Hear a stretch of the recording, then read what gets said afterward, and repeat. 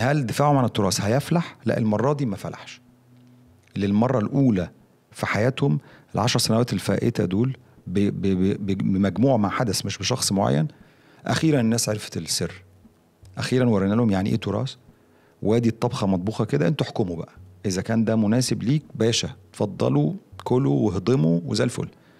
بس اكتشفنا إن في ناس كتير عندها الذائقة والفطرة اللي قالت آه لا في حاجات غلط حاجات لا يمكن عقلانتها وإحنا جبنا سيرة قريب من السؤال سألتوني عن موضوع الشفاعة حتى ناس من اللي كانوا على التيار الأقرب للتزمت زي الدكتور مصطفى محمود آخر سنوات قال الحق قال يا جماعة في حاجة غلط.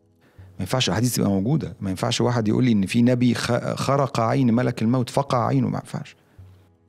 ففي ناس بتذعن للحق. وفي ناس بتكابر للآخر وانتوا عارفينهم يعني اللي هو يفضل يبرر ويلف ويدو ده موضوع من أبسط المواضيع زي زواج السيدة عائشة اللي هو أصلا لا سنة ولا دين ولا إنسانية تقره بالعكس ده في مصلحة الدين إن إحنا نقر إنه ما حصلش. شوفي الحرب الضروس اللي أنا خضتها عشان قلت لهم لا كان عندها 18 سنة السيدة عائشة. مع إن ده موضوع بسيط خالص أصلا 6 18 20 هو مش في الدين أصلا. يعني ما مش حاجة مش ركن مش فرض مش سنة.